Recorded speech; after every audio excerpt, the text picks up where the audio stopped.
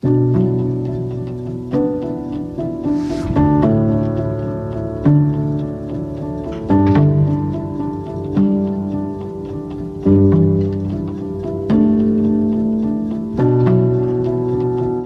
the Grannom is one of our first flies that appears in our trout chalk stream season uh, and it really drives the trout crazy. Uh, so to start we've got a size 12 or 14 hook in the in the vise there, uh, some Semperfli Nano Silk in, in brown uh, and we're just going to lay our first thread turns.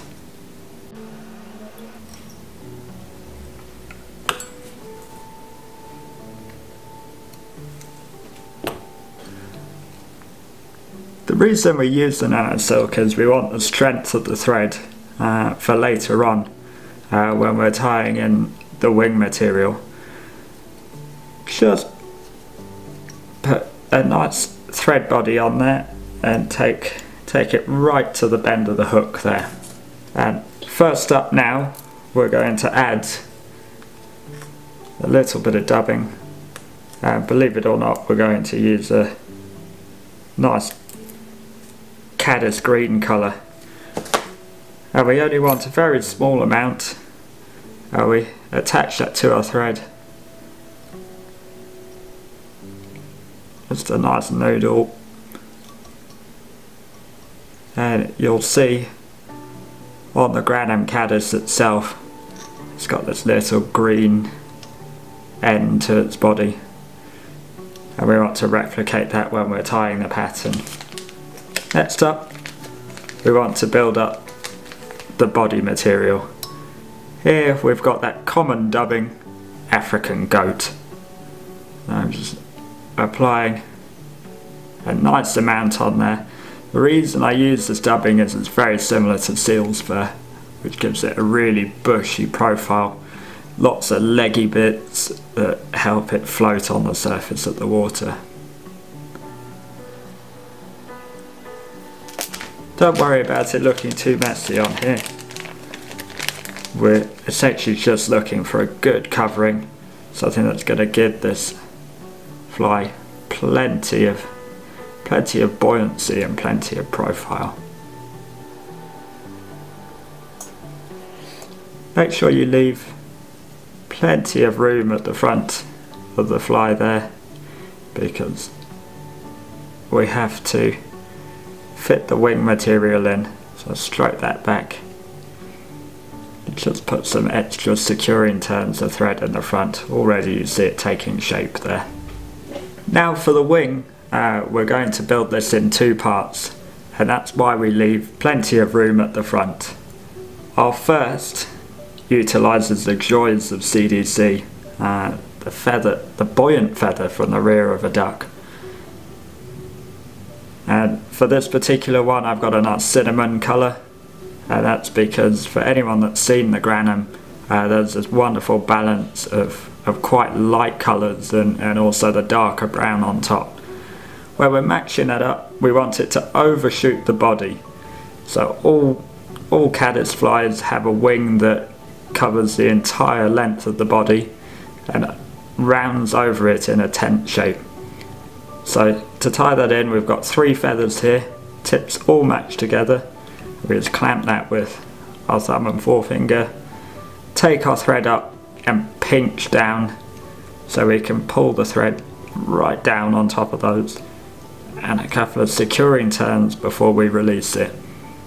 Sometimes, just because of how we put the pressure on, it will wrap a little bit so we just want to turn that background and the joy of using a stronger thread is we can put a lot more pressure in there and really secure it in. Fold those tag ends back and just put a couple of locking turns in. With my caddis fly to I usually cut those off nice and long because I want the fluffy finish around the head of the fly because the caddis head is quite bulbous as well. Our next step, and helpfully I prepared this earlier, is then to match some deer hair on the top. So we're going to take those again. A nice cluster. And we're going to match it up roughly the same length as the CDC there. And the same process so up between the thumb and forefinger but don't pull straight down straight away. Have a few loose turns because we don't want that to open out like a shuttlecock. So we're just putting a little bit of pressure on on the turns towards the head we can really pull down but going back we're just building reasonable pressure so we're not getting too much splaying out.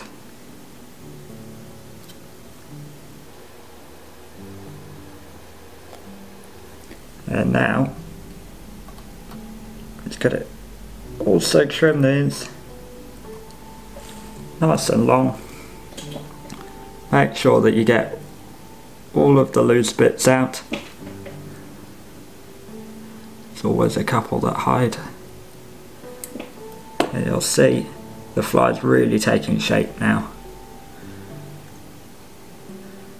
And the very final bit, because we don't want that thread showing on top of the on top of the wing there, is we take some of our body material that we used so that same dubbing again.